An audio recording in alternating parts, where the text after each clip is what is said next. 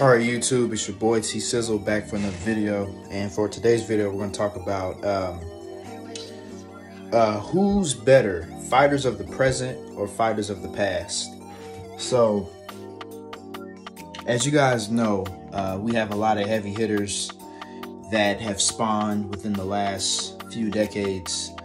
Um, examples include Mike Tyson, uh, uh, Conor McGregor, Floyd Mayweather, etc., etc.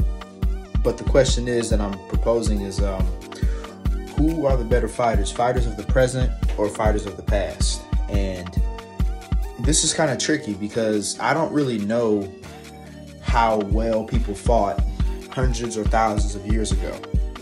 I'm not for certain, but at least when it comes to like the NBA and stuff, when you see fighters, I mean not fighters, you see basketball players that was playing basketball in like the 1950s and you see them on that black and white video that you know that's up on YouTube if you look if you go if you go back and look at it those guys were extremely unathletic. I'm not even at the caliber of a of a professional basketball player but if you was to put me with those guys I'll demolish I'll probably have 40 points.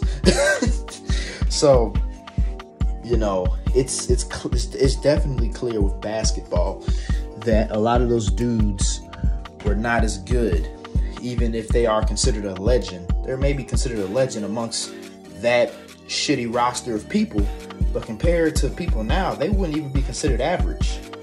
Like a dude at the YMCA can beat all those old school players back then, you know.